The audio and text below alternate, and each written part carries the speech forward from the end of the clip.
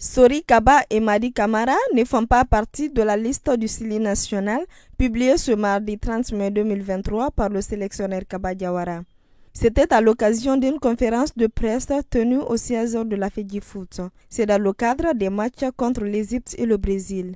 Il est très difficile de savoir exactement les raisons de l'absence de nouveau de Madi Kamara et de Sori Kaba dans le groupe du CILI national.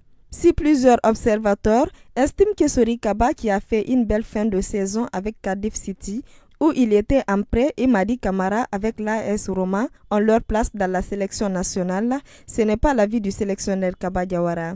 Il dit miser sur la consolidation de la solidarité dans son groupe.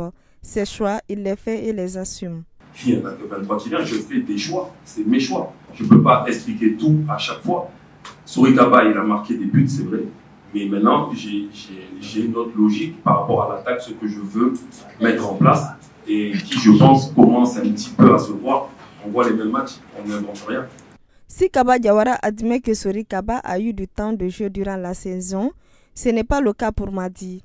L'ancien joueur devenu entraîneur trouve que le milieu du terrain est certes souvent dans le groupe de Roma, mais n'a pas un temps de jeu considérable.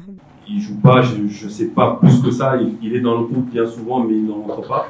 Donc euh, nous, on est, on est parti sur une logique de groupe.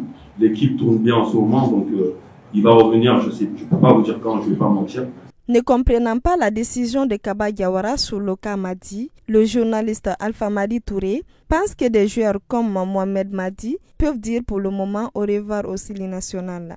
Des joueurs comme Madi Kamara peuvent dire euh, au revoir définitivement à la sélection. En tout cas, tant que Kaba Diawara sera là, je ne pense pas qu'il ait une seule chance euh, d'être convoqué.